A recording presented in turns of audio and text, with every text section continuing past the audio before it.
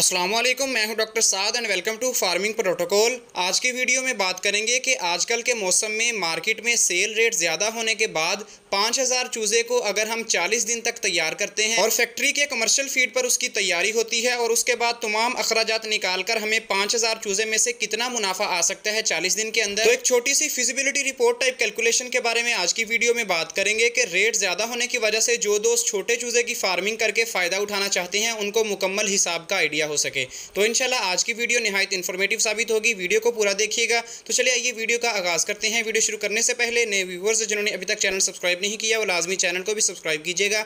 इनशाला फ़ार्मिंग के रिलेटेड इसी तरह की इन्फॉर्मेटिव वीडियोज़ आपको इस चैनल पर मिलेंगी। तो चलिए आइए आज की वीडियो का आगाज़ करते हैं। सबसे पहले चूज़ा खरीदने से तमाम कैलकुलेशन का आगाज़ करूँगा। तो काइंडली आप कॉपी पर नोट कर लीजिएगा ताकि बाद में आपको समझने में आसानी हो। तो पाँच हज़ार चूज़े का आजकल जो मार्केट में रेट चल रहा है, एक दिन के चूज़े का तकरीबन चौंतीस रुपये चल रहा है। डिलीवरी आपके फार्म तक पहुँचाकर। तो चौंतीस रुपये के हिसाब से अगर आप पाँच हज़ार चूज़े की कैलकुलेशन करें तो ये टोटल एक लाख सत्तर हज़ार रुपये का आपका चूज़ा आ गया, पाँच हज़ार जो आपके फार्म पर पहुँच जाएगा। अब चूज़े के बाद जो दूसरी बड़ी इन्वेस्टमेंट होती है, वो है फ़ीड के ऊपर, और फ़ीड मैंने आपको बताया है कि हम जो कमर्शियल फ़ीड फैक्ट्री के रेट्स वाले हैं, उनके मुताबिक अपनी कैलकुलेशन करेंगे।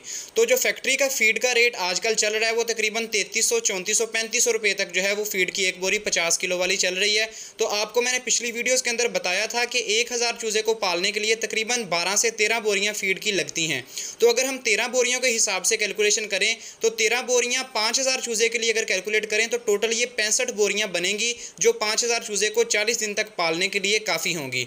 तो पैंसठ बोरियों को अब हमने मल्टीप्लाई करना है, चौंतीस रेट का हिसाब लगाएँगे कि एक बोरी चौंतीस की आई। तो पैंसठ बोरियों को जब चौंतीस से मल्टीप्लाई करेंगे तो ये हमारे पास दो लाख इक्कीस हज़ार रुपया बन रहा है, यानी कि सवा दो लाख की हमारे पास फ़ीड आएगी पाँच हज़ार चूज़े को पालने के लिए।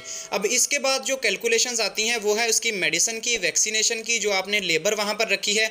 तो इसकी अगर जनरल हम कैलकुलेशन करें कि आपने फार्म जो लिया है, वो रेंट पर लिया है फॉर एग्ज़ाम्पल एक महीने के लिए तो उसका किराया आ गया जी दस हज़ार आपने फार्म का किराया इसमें ऐड कर लें। उसके बाद आपने कोई भी मेडिसन या वैक्सीनेशन की है, इन दोनों को मिलाकर पाँच हज़ार चूज़ों के लिए ये आपकी तकरीबन दस हज़ार की मेडिसन और वैक्सीनेशन का खर्चा आएगा।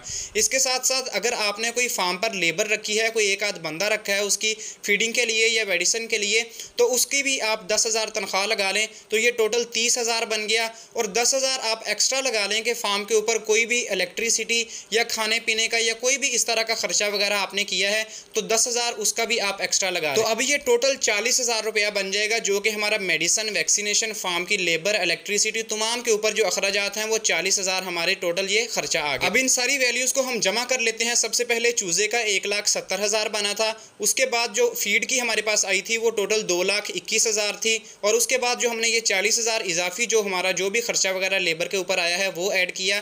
तो ये टोटल हमारे पास जो बन चुका है, ये चार लाख इकतीस हज़ार रुपया बन गया है, जो हमारा पाँच हज़ार चूज़े को पालने के लिए चालीस दिन में खर्चा आया है। अब इसके बाद कैलकुलेशन करते हैं कि जो चूज़ा हमारे पास आएगा, उसमें से हमें कितना मुनाफा आ सकता है। तो पाँच हज़ार चूज़ा है हमारे पास, उसको हमने फ़र्ज़ किया कि सौ चूज़े की मोर्टेलिटी हो गई है अंदर से, और हमारे पास अब बाकी जो चूज़ा बच गया है, वो चार हज़ार नौ सौ है। और अब बात करते हैं कि चालीस दिनों में चूज़ा आपको पता है कि एवरेज वेट गेन साढ़े तीन सौ ग्राम हासिल कर लेता है। तो साढ़े तीन सौ ग्राम को जब आप मल्टीप्लाई करेंगे चार हज़ार नौ सौ से तो ये हमारे पास सत्रह लाख पंद्रह हज़ार ग्राम बन चुके हैं। और जब हमें इसको किलोग्राम में कन्वर्ट करना है, एक हज़ार पर डिवाइड करें तो ये हमारे पास सत्रह सौ पंद्रह किलो मतलब एक हज़ार सात सौ पंद्रह किलो वज़न हमारे पास आया है। अब आजकल सर्दियों के अंदर मार्केट में आपको साढ़े तीन सौ रुपये पर किलो रेट मिल रहा है, लेकिन आप इसको साढ़े तीन सौ नहीं लगाएँ, तीन सौ तीस रुपये पर के जी के हिसाब से भी अगर इसकी कैलकुलेशन करें तो एक हज़ार सात सौ पंद्रह किलो ज़रब तीन सौ तीस रुपये जो रेट हमारे पास आया तो ये टोटल हमारे पास पाँच लाख पैंसठ हज़ार नौ सौ पचास रुपये बन रहे हैं। तो इसमें से अब आप अपने जो खर्चा जाते हैं, उनको निकाल लें। जो कि चार लाख इकतीस हज़ार थे, और अगर इसको माइनस करें तो हमारे पास जो टोटल नेट मुनाफा आता है, वो तकरीबन एक लाख चौंतीस हज़ार रुपये आता है। अब इसको आप कॉपी पे नोट कर लें, तमाम कैलकुलेशन कैलकुलेटर पे खुद भी कीजिएगा, और फिर कमेंट सेक्शन में बताइएगा कि क्या ये कैलकुलेशन सही है या नहीं। तो ये एक पाँच हज़ार चूज़े को चालीस दिन के बाद आपको एक लाख चौंतीस हज़ार तकरीबन, डेढ़ लाख तकरीबन मुनाफा जो है, वो आ रहा है पाँच हज़ार चूज़े को पालने के लिए। तो उम्मीद करते हैं कि आज की वीडियो आपको पसंद आई होगी। वीडियो अगर पसंद आई हो तो लाजमी लाइक कीजिएगा और नए व्यूवर से दरखास्त है कि चैनल को भी सब्सक्राइब कीजिएगा ताकि इसी तरह की मजीद इन्फॉर्मेटिव वीडियोज़ आप तक पहुँच सकें। तो आज की वीडियो का यहाँ पर अख्ताम करते हैं। इजाज़त दीजिए। नेक्स्ट वीडियो में मिलते हैं। तब तक के लिए अल्लाह हाफिज़।